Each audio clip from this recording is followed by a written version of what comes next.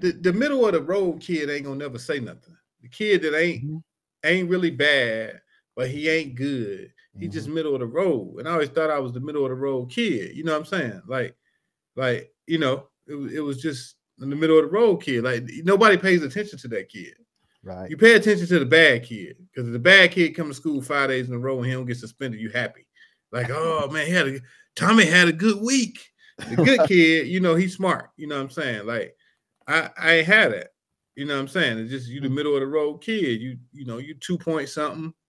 You know what I mean? You ain't really gonna cause no ruckus. You look all right, but you ain't. You know what I'm saying? You ain't really got no paper like you ain't out there with the, like the boys with the nice cars and nice whips, but you you there. You in school. You know what I'm saying? So you gotta.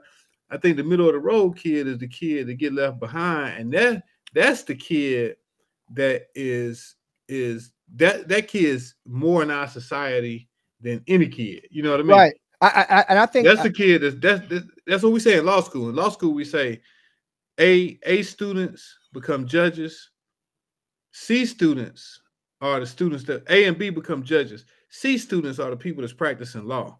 Bro, right. What you're saying right now is when, when that middle of the road kid, uh the, I think those kids a lot of times they're mixed. It's certain mixed with them. One one of the number one things about a, a middle of the road kid is they're trying to figure out what in this world they want to do. So they can't really focus on, you know what I'm saying? They, they haven't really found what what makes them, you know, what they want to do. But once you focus on that, mm-hmm. I think that's where I think that's where a lot of the A students and all that, because if you're, you know, you really want to do something, you kind of focus on it a certain kind of way. But those middle of road kids, they that's why you they're they're great attorneys or whatever, because once they got into where they need to go, they, they're rolling with it, right? Um for, for me, I know when I when I found out what I wanted to do when I was a young kid, I was very passionate about it. I was I was passionate about it, uh, so crazy about it. I, I was having good grades or whatever. No one ever taught me this, but I was like, yo, it was nothing. It was not about the grades. It was not about anything other than my passion that drove me to like I wanted to be an astronaut. I mean, that that really it was I was insane with it. I had pictures on my wall.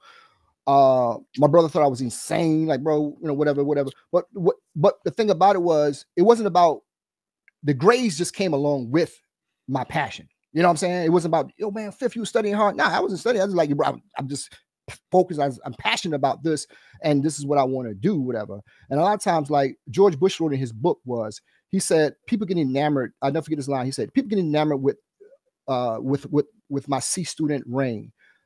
What the thing that was drove me to be a C student was I had nothing to drive me to anything else other than that.